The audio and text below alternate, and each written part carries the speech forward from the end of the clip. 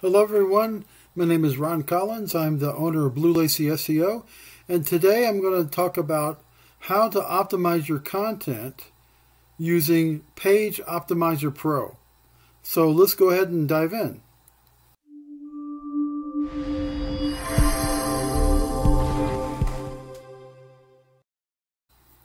In this video, I'm going to show you how to create perfect content that will get your website pages ranked with an app called Page Optimizer Pro. And you can use POP from its online dashboard or from the available Chrome extension. And POP is a paid application with a free seven day trial. So you start off by creating a new project with the page you want to optimize. In this case, it's a tax service site that I created a few months ago. I'm using the tax website from a previous video on keyword research, and I'll leave a link for that video in the description below. After confirming the, the uh, domain name and naming the project, I click Next. After selecting New Page, choose your setup, Full or Express. I chose a full setup because I can choose my own competitors and I have everything I need on the page for page optimization. Here you add your main keyword or phrase. In this case, it's El Paso Tax Preparation Services. And if it's local, like this is a local site, it's best to add your city to your keyword phrase. Now you choose your target language and region I'm using the Chrome extension so POP already knows my region. Then you select your competitors or let POP choose them. I think it's best to choose your own. So I did a search for El Paso Tax Preparation Services. And choose ones that do not have sites like Yelp, uh, Thumbtack, Expertise. You want to choose websites that are similar to yours. Next, select at least three competitors from the list. You can also add websites that are not listed. The more sites you can list, the better. You have a maximum of 10 competitors to select. Next, check your competitor list. You can also add to the list.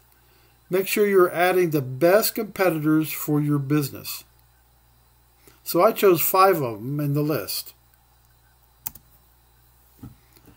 Next, select at least one focus competitor that is more like your site in terms of content. I chose the top two websites.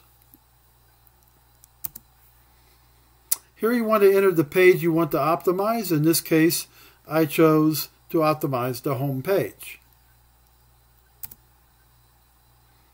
Here you can review the variations of your keywords and add variations. In this example, I only removed one variation, CPA, because the term didn't apply to this business. Here you can review the LSI or latent semantic indexing terms. These are the contextual terms or words that give content meaning. You want to eliminate terms that don't apply to you. In this example, I deleted blue, blue pearl, pearl. These were competition names.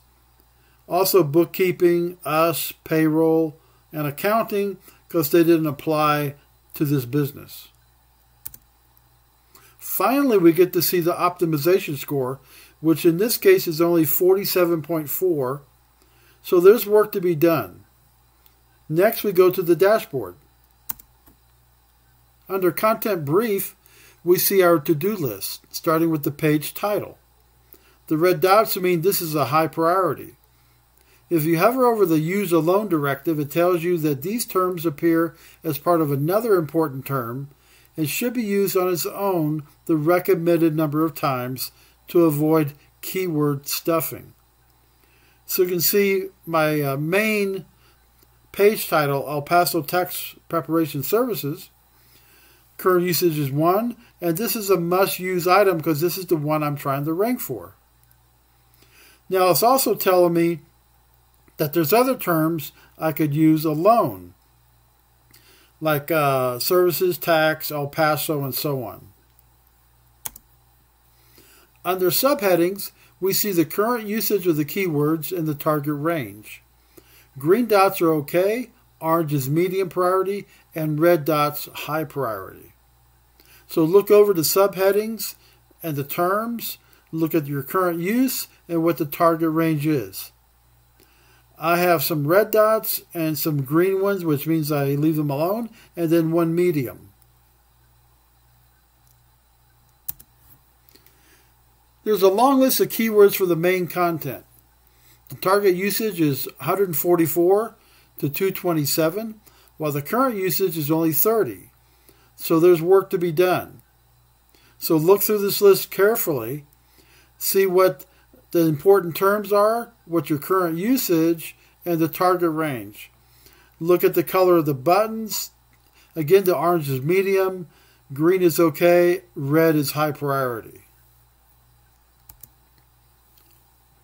Based on my competitors, POP gives recommendations for bold, italic, and number of images. These are not really ranking factors and these can be ignored, but if you want to include bold or italic, that's fine, but just don't overdo it. These are my page titles of my competitors. POP included these page titles for inspiration. I like the page title that I currently have, so I'm not going to use these. If relevant, these are some keyword ideas to use on the page. Get these on your page to rank more for more keywords. Now, some of these I may not use, like at the bottom it says Craigslist El Paso. I don't really know why that's there. I'm not going to be using that one or the CPA term. These are questions you can use for additional related content. These can be used if your content needs expanding. So you may want to look at these uh, related questions to see if they apply to you. Now, there are some questions concerning COVID 19. And if you're viewing this video sometime later, you understand the COVID 19 pandemic, which is going on at the time of this video. These are the variations of the main keyword, where they are on the page, and the recommendations for each area. Now, this is just a partial list, but it starts off with H1s, uh, H2s, current, target, minimum, target, maximum, and the recommendations. Again, I wouldn't reduce any until I until I added the ones that are the high priority ones.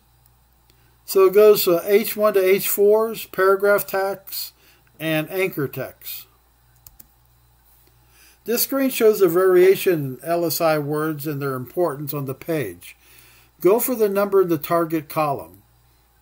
POP doesn't recommend removing words until the target words are added. So if you see any that, uh, that they recommend to, to remove, don't do those yet until you add the high priority ones. So you see the importance of some of these terms from a high of 62%, and then the right hand column at the bottom, a low of 5%. So work on the important ones first. The page structure screen gives recommendations for the items below and their priority. If you're unsure what some of these items are, just hover your mouse over the blue eye for information. So it tells me about H4s, anchor text, bold tags, unordered lists, tables, and even forms. And in this case, all of these are high priority. Although schema is not currently a ranking, factor, it does help achieve rich snippets. This shows a comparison of schema types for your page versus your competitors. So my page, it shows the schema types and the competitors, what their schema types are. And there's a couple of sites here that don't have any schema at all.